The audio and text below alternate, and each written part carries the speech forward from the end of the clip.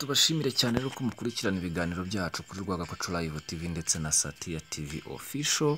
Ngira nk'uko mubibona ku ifoto ejo twagarutse ku nkuru ya Barafinda Sekikubo Fred. Umunyarwenya rero ukomeje kugenda avugisha abantu benshi ugaruka ku binyamakuru bigiye bitandukanye haba mu Rwanda ndetse no hanze. Uyu munsi rero hari undi mugabo nawe witwa Thompson.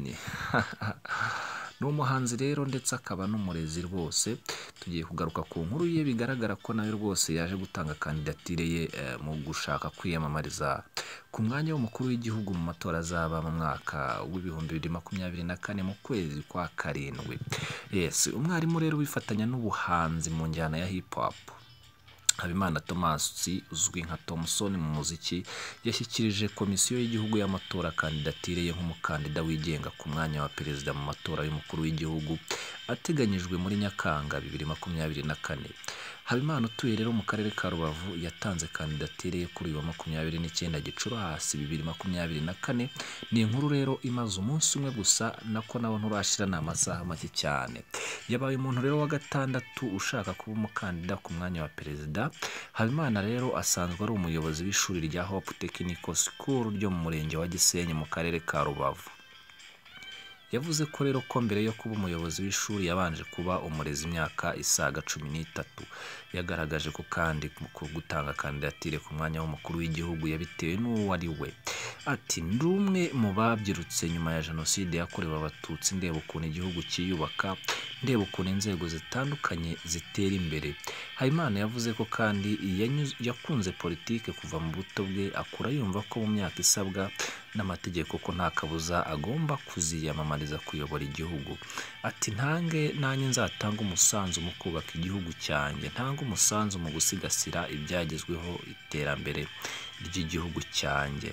Habimana rero wavuze eh, ko afite umugore n'abana yashimangiye ko ah, ko utaba umuyobozi w'ikigo cy'ishuri umu- ah, ntabwo waba umuyobozi w'ikigo cy'ishuri utari umunyapolitiki ari naho ahera avuga ko mu gihe kandidatire ye yatambuka nta shiti yazitwara neza mu matora y'umukuru w'igihugu. Kandi ati ah, icyizere rwose ah, kandi ati icyizere mfite ni ukuba nshobora gutanga kandidatire umuntu wangize uwundi wakiri mu bakandida uyu munsi. Ni iby'agaciro kugira ngo nanjye nshimangire ko imbaraga ubushake guverinoma y'ubumwe bw'abanyarwanda yashyizemo kugira ngo igihugu cyacu gitere imbere. Uyu ni umwe mu musaruro. Rero ni amagambo y'uyu mugabo rwose eh, wivugiraga ko rwose ashaka kwiyamamariza kuba nawe mukuru w'igihugu.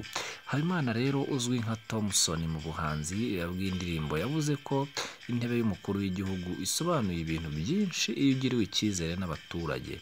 Ati kabone n'ubwo ntagirirwa icyizere ndacyari muto. Ndacyafite ibyiringiro ko ah, no mu bindi bihe bizaza byibuza ntangiye gutya. Byaba ari intambwe nziza kandi ishobora kumfasha. Habimana rero yavuze ko mu rugendo rwo gushaka ibyangombwa nta mbogamizi yahuye na zo. Habimana thomas asanzwe ari umuhanzi mu njyana ya hip hop aho afite indirimbo yakoranye n'abahanzi batandukanye zirimo yaratwimanye menya ibyawe ishyano n'izindi zigiye zitandukanye.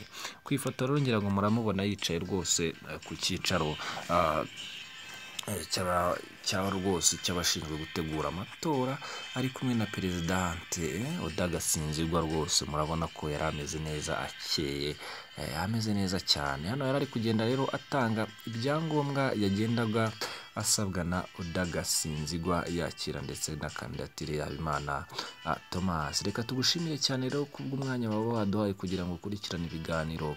Ah, binyura hano kuri Rwagakoco Live TV ndetse na Satya TV Official.